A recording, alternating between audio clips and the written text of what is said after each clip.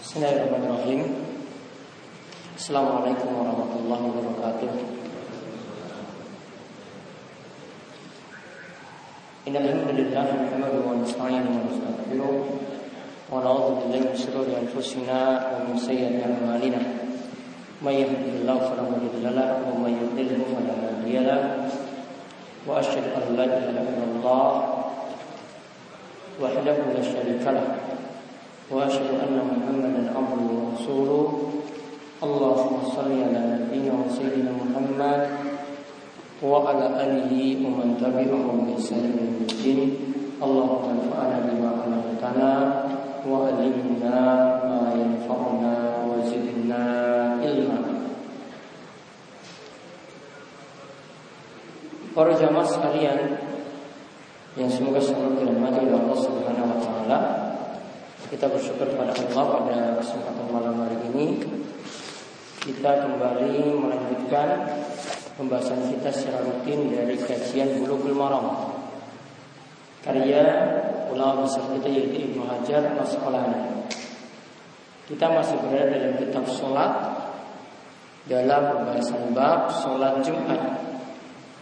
Saat ini kita menginjak hadis ke-24 dalam bab ini atau Menurut kitab rujukan kami hadis 468 dari pembahasan Bulughul Maram. Kalau dalam pembahasan sebelumnya ada jelaskan aturan untuk mendengar khutbah sampai pada terakhir yang kita bahas yaitu tentang syarat jumlah jamaah dalam sholat Jumat. Kali ini kita bahas disyariatkannya doa pada khutbah Jumat. Disyariatkannya doa pada khutbah Jumat.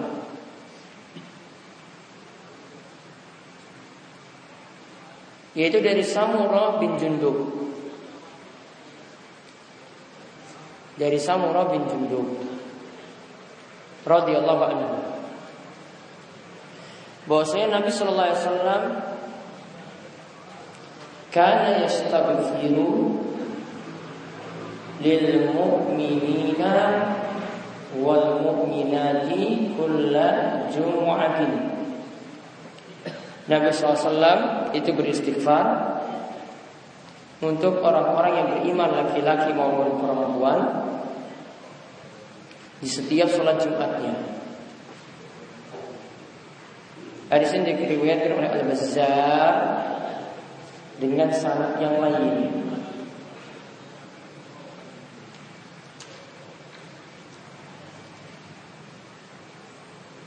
Kesimpulan dari hadis ini dari sisi sanad hadisnya doif jiddan itu sangat-sangat lemah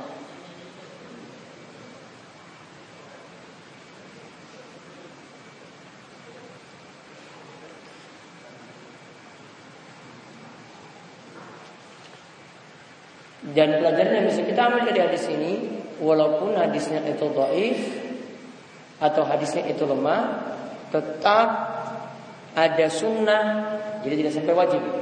Ada sunnah khatib berdoa ya tetap ada sunnah khatib itu berdoa ketika khutbah yaitu pada khutbah kedua.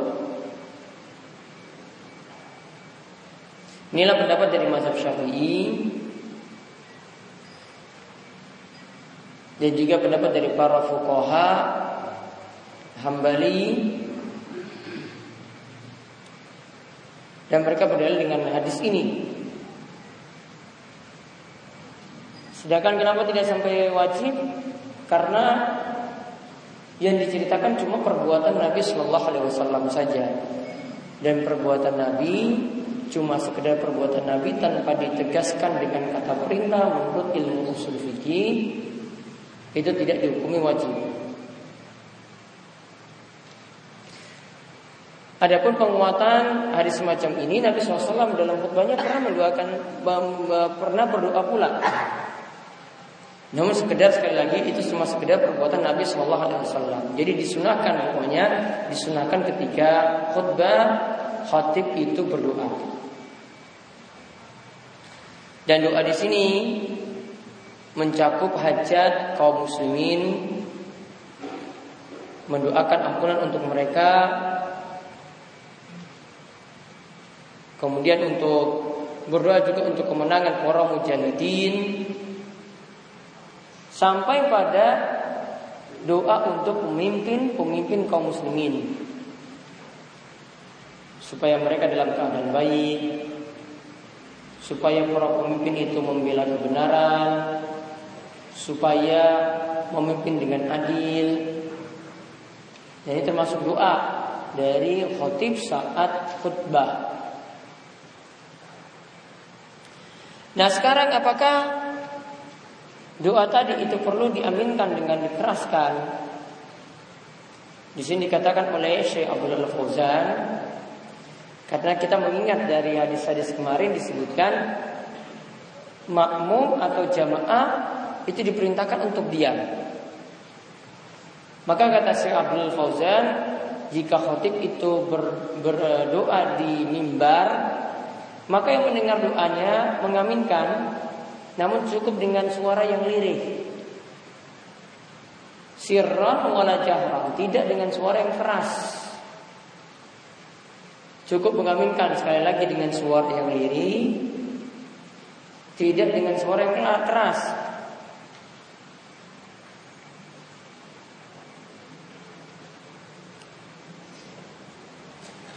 Kalau tadi kita bahas, sekarang isi doanya tadi doa secara umum untuk kaum muslimin. Nah sekarang Syekh Abdullah Fauzan beliau katakan gimana kalau doa dia tujukan khusus pada khulafaur rasyidin. Misalnya didoakan baik untuk Abu Bakar, dia doakan baik untuk Umar, dia doakan baik untuk Utsman, dia doakan baik untuk Ali bin Abi Thalib. Apakah termasuk dalam tuntunan?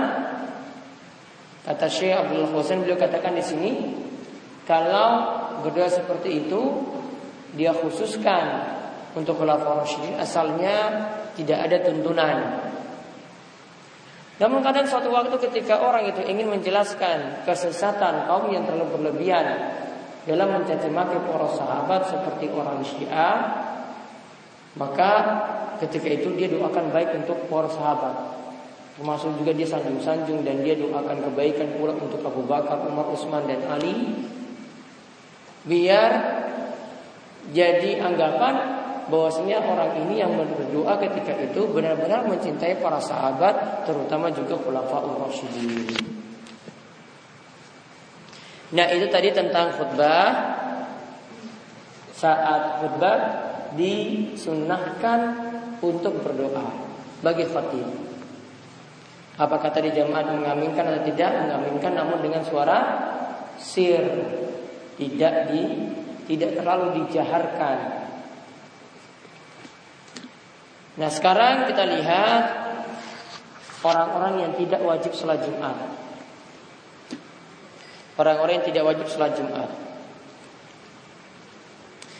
Intinya kalau kita lihat dalam hadis Orang yang tidak wajib sholat Jumat itu ada empat Eh apa? Ada lima Empat tambah satu lagi di hadis yang terpisah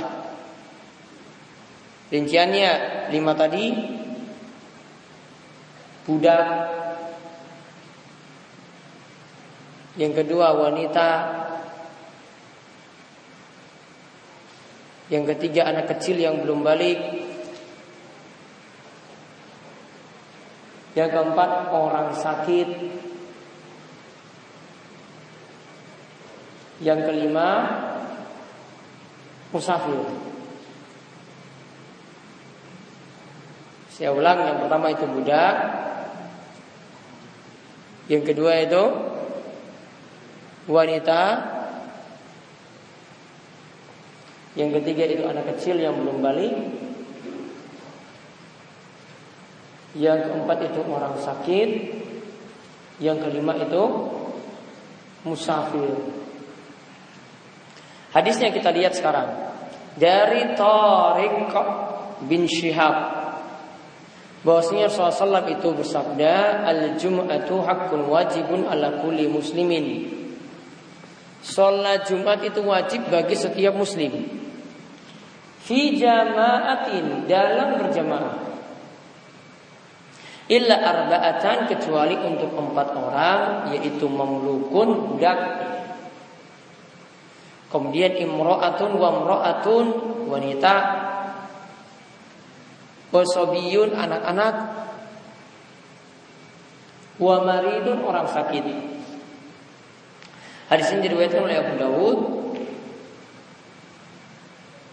dan Abu Dawud itu mengatakan lam yasma tarikun minan Nabi Shallallahu Alaihi Wasallam yang namanya Tariq bin Syihab tadi dia memang hidup di masa Nabi namun dia tidak mendengar langsung hadis dari Nabi Shallallahu Alaihi Wasallam.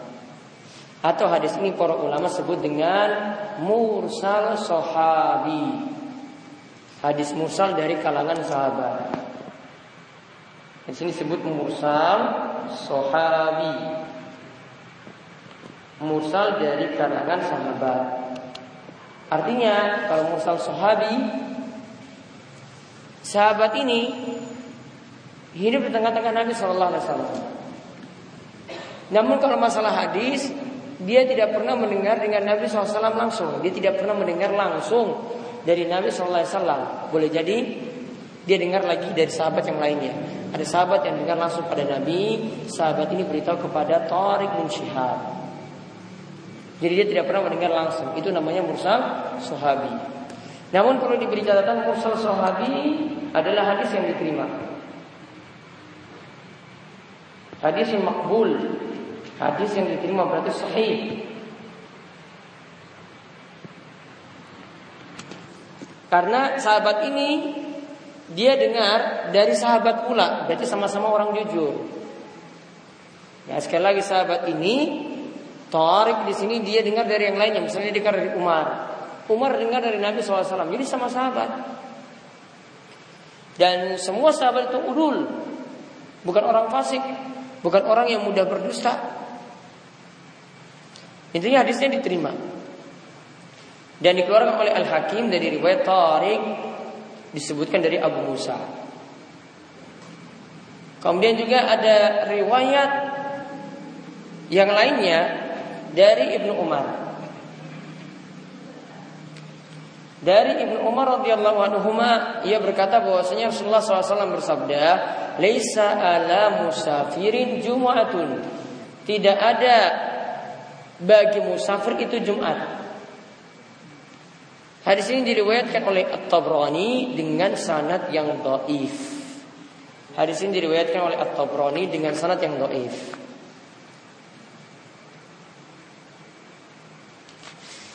Intinya hadis yang pertama dari Tariq, hadis yang sahih. Kemudian hadis yang kedua dari Ibnu Umar.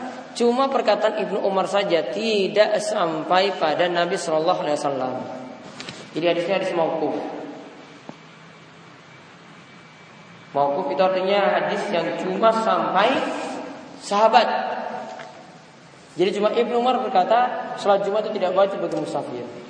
Bukan sabda Nabi Shallallahu Alaihi Wasallam. Faedah bisa kita ambil sekarang yang pertama Sholat Jumat itu wajib bagi setiap muslim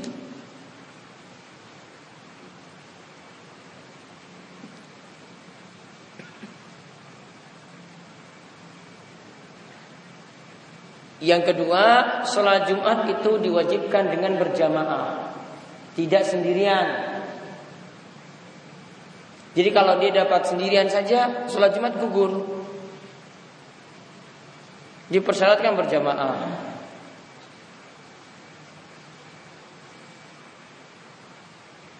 Kemudian sholat Jumat jadi tidak wajib untuk lima orang. Tadi yang pertama budak. Kenapa kok budak itu tidak wajib? Karena budak itu masih nurut pada majikannya. Walaupun ada beda pendapat di antara para ulama tentang Apakah budak itu wajib Jumat atau tidak? Kalau lihat dari tekstual hadis ini, budak tidak wajib sama sekali untuk sholat Jumat. Kemudian yang kedua, wanita. Karena sholat Jumat itu kumpulnya laki-laki. Kalau wanita ada mengganggu. Ya, kalau wanita ada itu mengganggu. Bahkan ada ijma dari Ibnu Munzir yang katakan ajma'u ala annahu la jum'ata ala nisa. Para ulama itu sepakat tidak ada Jumat bagi para wanita.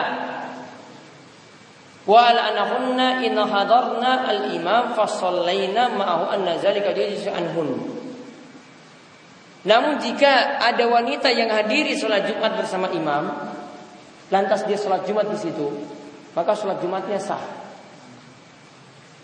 Jadi misalnya sekarang sholat Jumat, laki-laki hadir, kemudian ada jamaah wanita yang ikut sholat Jumat. Apakah sholat Jumatnya itu sah? Jawabannya sah. Sekarang yang ketiga ada asobi anak kecil. Anak kecil ini dunal buluk. Dan yang dimaksudkan sini adalah laki-laki. Maka secara hukum anak laki-laki ini tidak wajib sholat Jumat. Tidak ada beban untuknya. Namun kata para ulama mereka beri saran. Hendaklah anak kecil pun, anak kecil laki-laki walaupun belum balik, walaupun belum dewasa tetap menghadiri sholat Jumat. Apa tujuannya? Untuk belajar dan cari faedah dapat faedah dari sholat Jumat tadi. Jadi dia ngerti bagaimana pelaksanaan sholat Jumat. Oh ternyata dalam sholat Jumat itu ada khutbah dulu, baru sholat. Kalau seperti itu nanti dia tidak tahu. Kalau dia tidak hadir dia tidak tahu. Maka tetap anak kecil laki-laki diajak untuk sholat Jumat di masjid.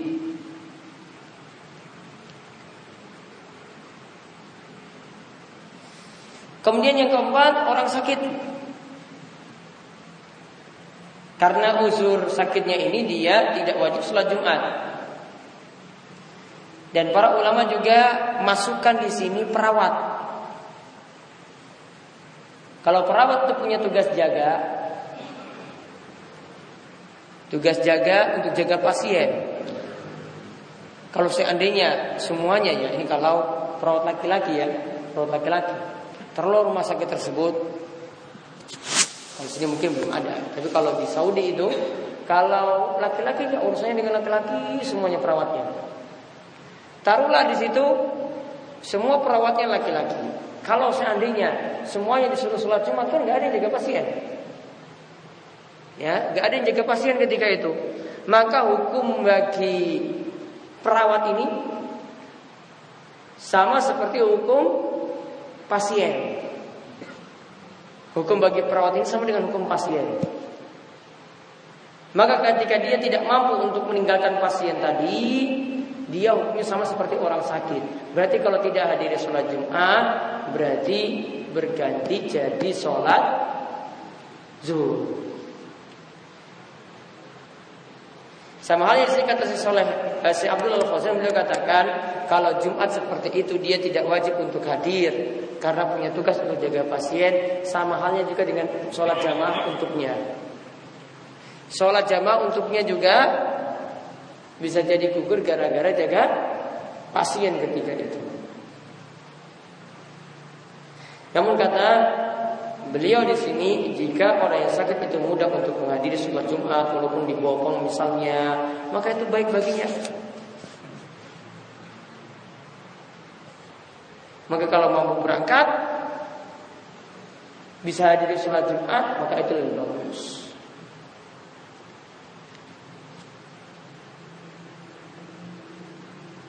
Kemudian yang kelima musafir Maka musafir itu bukan orang yang mungkin.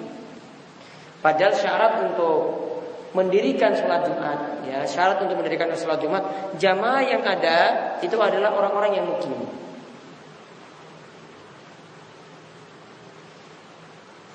Dan secara prakteknya Nabi SAW dan para sahabat ketika safar mereka tidak sholat Jumat Coba perhatikan ketika Nabi SAW menunaikan haji di hari Arafah jatuh pada hari Jumat. Beliau tidak suruh sholat Jumat namun cuma suruh sholat zuhur dijamak dengan sholat asar. Bukan sholat Jumat diajamak dengan asar, namun sholat zuhur dijamak dengan asar.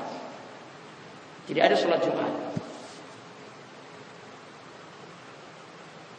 Begitu juga para khulafa rasyidin ketika mereka bersafar untuk haji dan selainnya mereka tidak mendirikan sholat Jumat. Berarti ketika tidak mendirikan sholat Jumat gantinya sholat zuhur. Kalau musafir selama di dalam safar maka dia memilih kosor sholat. Jadi zuhurnya dia jadikan dua rakaat.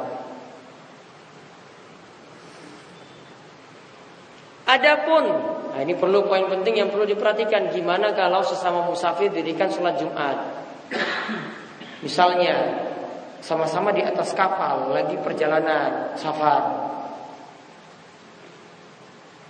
Di sebagian kapal Kapal laut Itu mereka sengaja dirikan sholat Jumat secara berjamaah. Saat ataukah tidak ketika itu kita kembali ke pembahasan tadi syarat sholat Jumat orang yang melakukannya adalah orang yang mungkin maka bagi pekerja seperti ini yang berada di kapal laut atau penumpang di kapal laut, mereka tidak disuruh untuk mendirikan sholat Jumat. Jadi kapal juga jangan dirikan sholat Jumat. Namun apa? Jadikanlah sholat zuhur secara berjamaah dengan cara dikosor. Karena bagi musafir tidak ada dirikan sholat Jumat itu tidak ada. Kecuali kalau musafir ini ikut sholat Jumat dengan imam mukim. Namun kalau dia itu tadi di kapal dirikan sholat Jumat sama musafir nggak boleh, nggak sah. Sama juga pekerja offshore yang di lapas pantai mungkin ada musola di sana dirikan sholat Jumat tidak perlu. Karena dia sesama musafir, sama musafir tidak perlu dirikan sholat Jumat. Namun kalau ini ada orang mukim, dia datang pas lagi safar, mampir, sholat Jumat, maka tetap sah.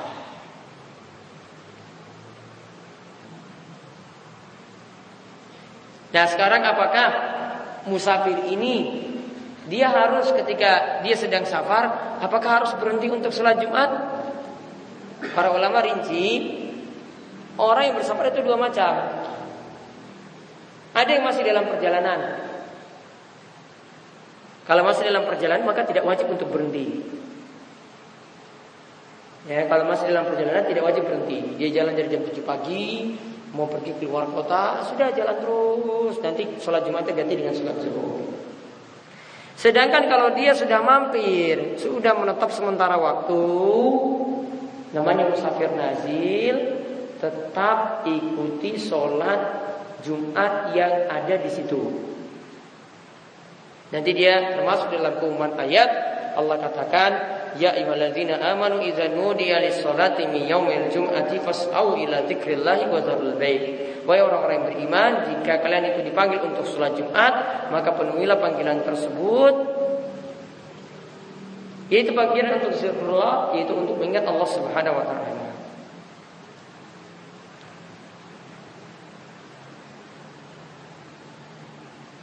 Kemudian juga ada hadis dan ini adalah perkataan dari Abdullah bin Amr bin Al-As, al-jum'atu ala kulli man sami'an nida. Jumat itu cuma bagi orang yang mendengar azan. Artinya bagi orang mukim saja, bagi musafir tidak.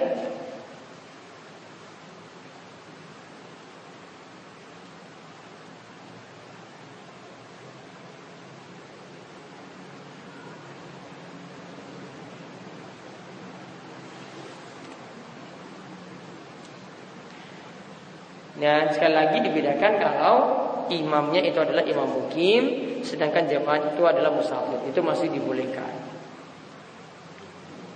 Nah itu terkait dengan orang-orang yang dapat keringanan tidak sholat Jumat ada lima orang tadi, yaitu budak, wanita, anak kecil, orang sakit, dan musafir.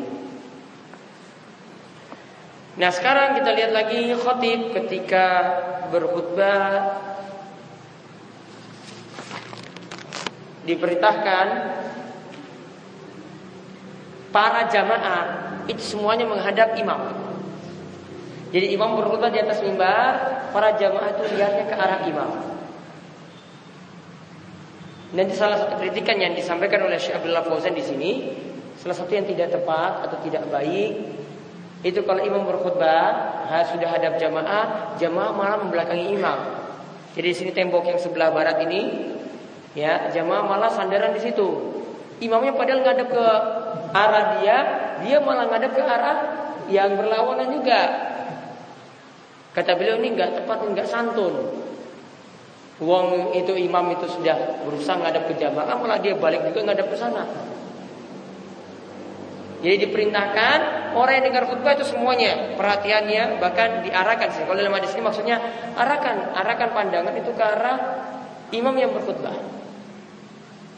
Maka kita lihat di sini dari Abdullah bin Mas'ud radhiyallahu anhu ia berkata karena Rasulullah SAW izza stawa 'alal mimbar istaqbalnahu biwujuhina. Rasulullah SAW ketika beliau itu sudah berada di atas mimbar, maka kami yaitu para sahabat semua menghadapkan wajah-wajah kami melihat Nabi SAW yang sedang berkhutbah. Hadis ini diriwayatkan oleh Tirmizi, sanadnya dhaif. Namun walahu syahid min hadis al-Barra inda Ibnu Huzaimah. Namun hadis punya penguat dari riwayat Ibnu Huzaimah.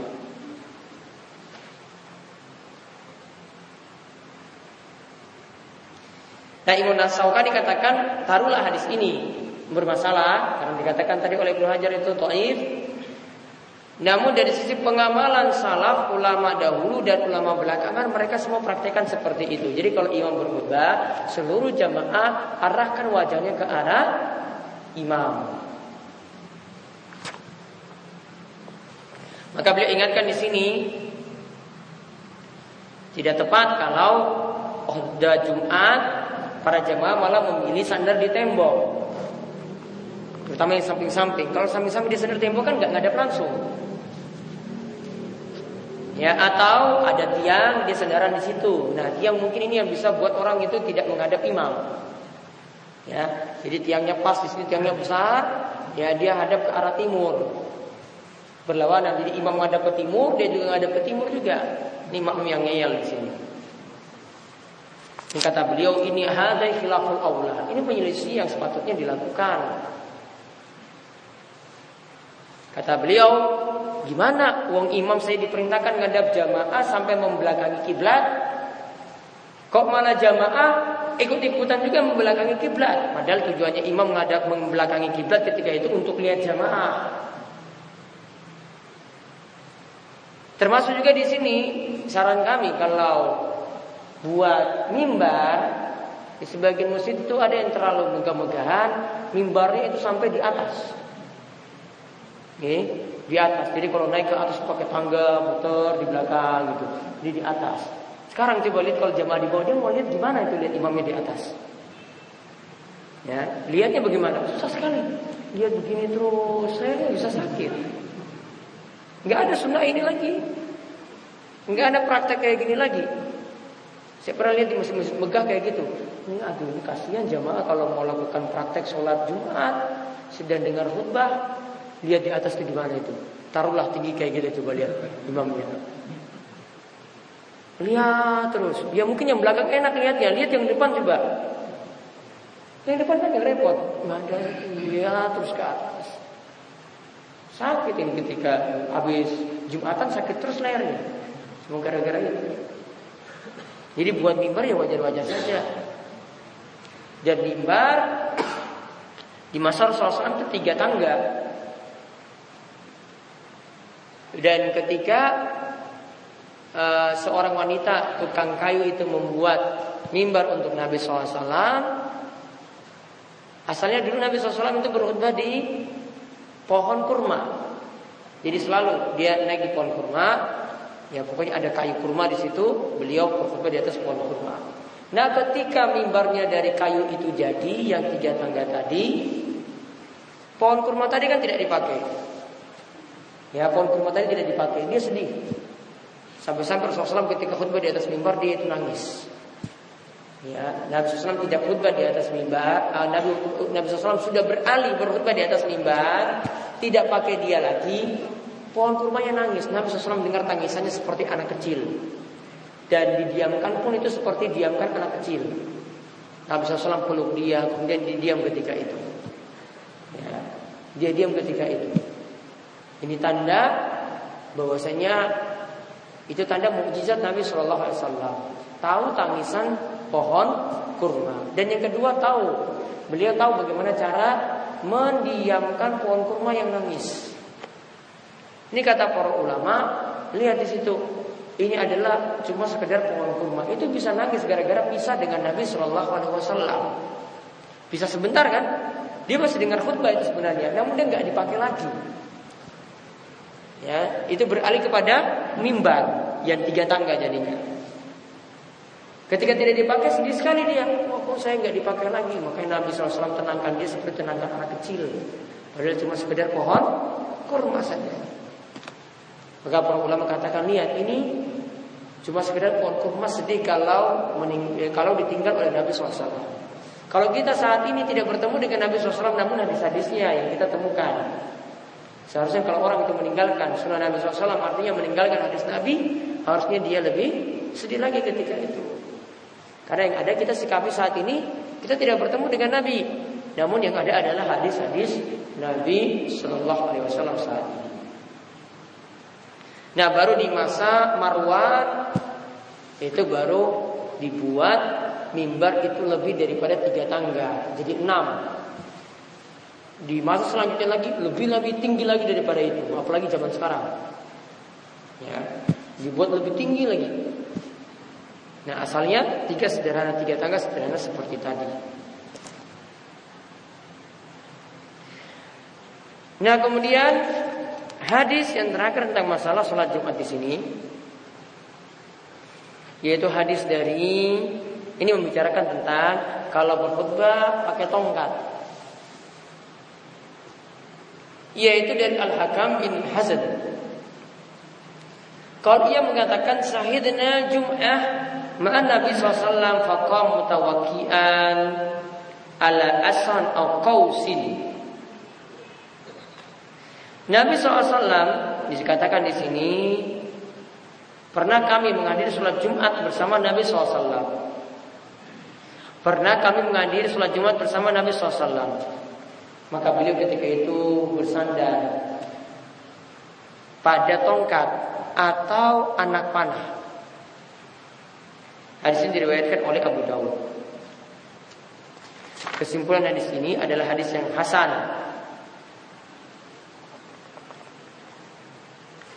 Faedah yang bisa kita ambil dari hadis ini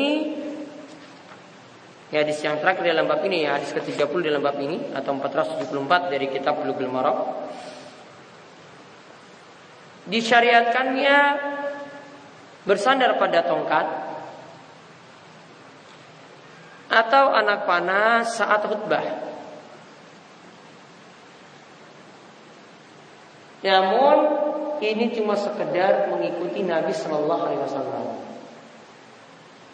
bukan suatu kewajiban. Sekali lagi ini cuma apa tadi? Sekedar mengikuti Nabi Shallallahu Alaihi Wasallam, bukan suatu yang wajib. Karena ini cuma praktek Nabi. Nabi tidak anjurkan dengan perkataan. Beda kalau beliau ngomong, "Wahai para khotib, kalau setiap kali engkau berkhutbah, pakailah tongkat." Jadi ini bukan berarti sunnah yang terus-menerus dilakukan.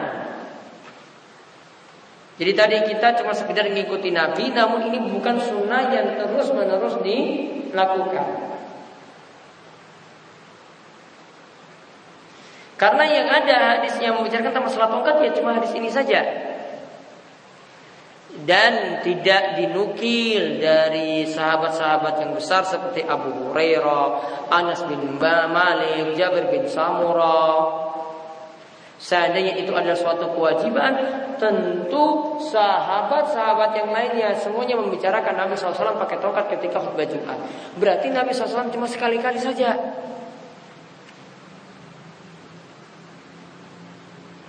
Jadi di sini kata Syekh Abdullah Fauzan beliau katakan jadi intinya tentang masalah ini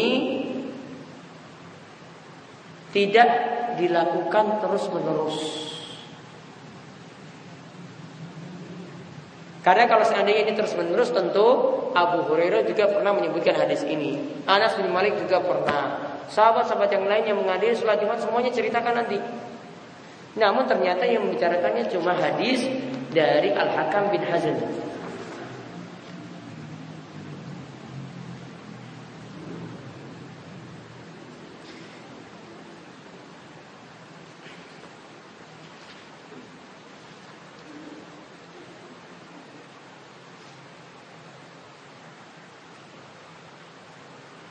Dan di dikatakan bersandar pada tongkat. Di sini maksudnya supaya bisa berdiri mudah saja. Nah sekarang masalahnya di sini apakah tongkatnya dipegang dengan tangan kanan atau tangan kiri? Maka di sini dikatakan oleh Syaikhul Fauzan ini terserah mau pegang tongkatnya tangan kanan boleh, tangan kiri juga boleh. Namun di sebagian tempat ini pensyariatan seperti ini terlalu ketat. Jadi sejak naik dari bawah, sejak berangkat dari bawah, pakai tongkat naik pelan-pelan, pelan-pelan, pelan-pelan, itu pegang tangan kanan. Ya, ketika sudah di atas, tongkatnya pegang terus saat khutbah, nggak boleh ditaruh di samping kanan kirinya nggak boleh, diletakkan saya nggak boleh, jadi pegang ketika khutbah pegang terus. Ini terlalu kaku dalam pengamalan hadis. Artinya, ya tadi kita katakan sifatnya saya tidak terus menerus, maka ya seperti itu juga tidak ada aturan yang baku. Mau dia ketika itu pegang terus, ataukah dia nanti taruh di tembok misalnya, tidak ada aturan tertentu. Nah, kemudian saya katakan di sini kalau dia pegang tangan kiri sedangkan tangan kanan nanti lihat teks itu juga boleh. Jadi dia pegang tongkatnya. Ini dengan tangan kiri. Nanti teksnya itu di tangan kanan. Nah itu dibolehkan.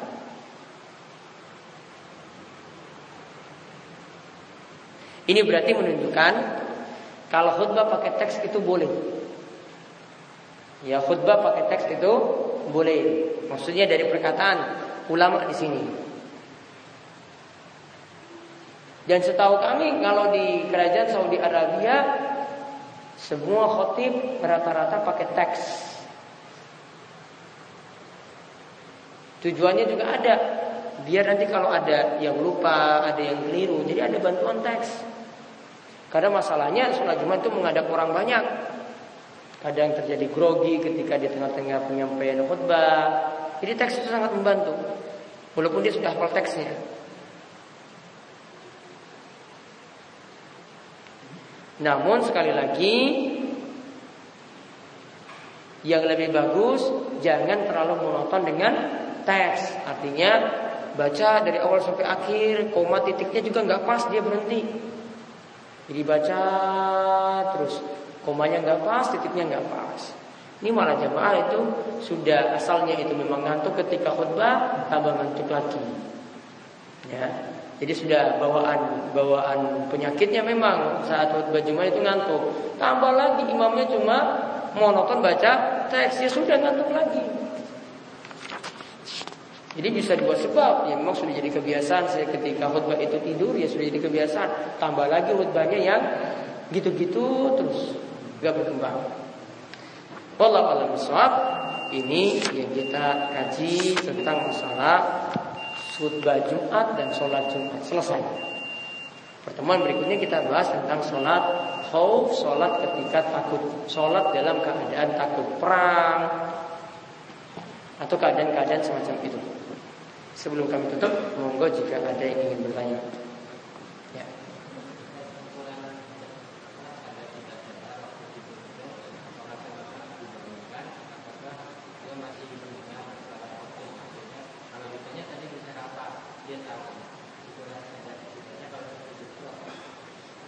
Ukurannya yang pertama masih bisa nangkap isi khutbah itu pertama. Yang kedua kalau digugah, kalau dibangunkan itu mudah.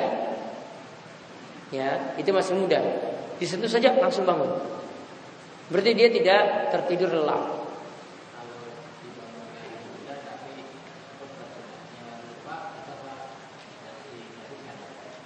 Walau itu masih dianggap belum tidur pulas. Assalamualaikum warahmatullahi wabarakatuh. Bagaimana hukumnya? Saya pernah lihat khotib sudah naik mimbar. Lalu ada orang datang terlambat. Dengan tenang, beliau sholat. Saya itu masjid. Dengan kembali sah pada. Saya imam sedang berkhutbah. Terus dia datang sholat tahiyatul masjid dua rakaat sampai selesai sholatnya sah. Bahkan Nabi SAW pernah negur orang yang tidak masuk masjid, orang yang tidak sholat tahiyatul masjid saat masuk masjid. Pas Nabi khutbah, Nabi tegur dia, kamu sudah sholat sholat sunnah apa belum? Dia katakan belum. Kum berdiri, lakukanlah sholat dua rakaat. Artinya boleh, namun kata para ulama sholatnya dibuat agak cepat. Tetap ada rukun-rukun yang dipenuhi, namun jangan lama-lama. Dia nanti bisa mengikuti khutbah Jumat secara full. Ada lagi? Ya.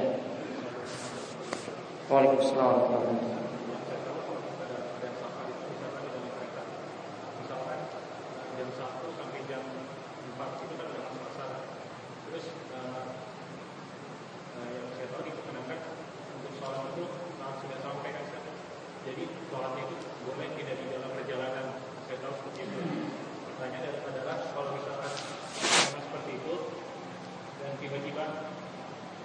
dia keburu keburu meninggal apakah dia mati dalam keadaan kafir Waalaikumsalam warahmatullahi Kalau memang sudah niatan untuk jamaah takhir, ya, terus kok belum kesampaian untuk lakukan tadi, dia tidak dihukumi meninggalkan sholat karena dia punya uzur. Uzurnya apa? Dia termasuk orang yang boleh nunda sholatnya. Beda kalau orang itu nunda-nunda sampai keluar waktu, terus meninggal, itu baru dikatakan meninggalkan. Ada lagi?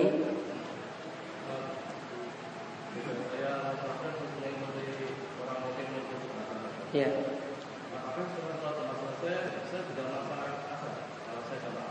Baik.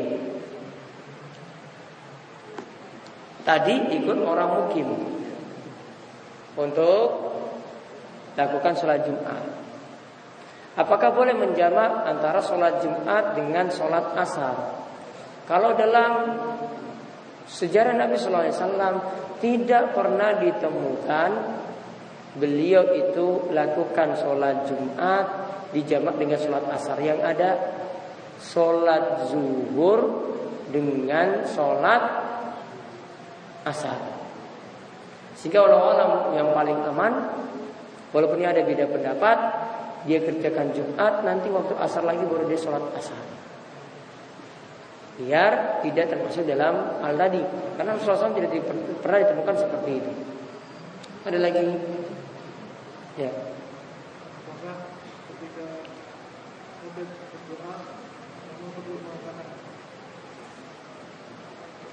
Kalau kita lihat dari praktek atau kemarin kita lihat dalam pembahasan khutbah khatib berisyarat dengan satu jari Oh, tadi kelewat tadi pembahasannya. Khotib berisyarat dengan satu jari, tidak mengangkat dua tangan. Kalau jamaah tidak dianjurkan juga untuk mengangkat tangan. Jadi cukup untuk khotib saja. Namun kalau dia mau aminkan, aminkan, namun dengan suara lirik. Ada lagi terakhir? Baik. Saya yang bisa kita bahas pada kesempatan kali ini mudah-mudahan bermanfaat dan kami cukupkan sekian. Subhanallahumma bihamdika. Asyhadu an la ilaha illa anta. Astaghfiruka wa atubu ilaik. Assalamualaikum warahmatullahi wabarakatuh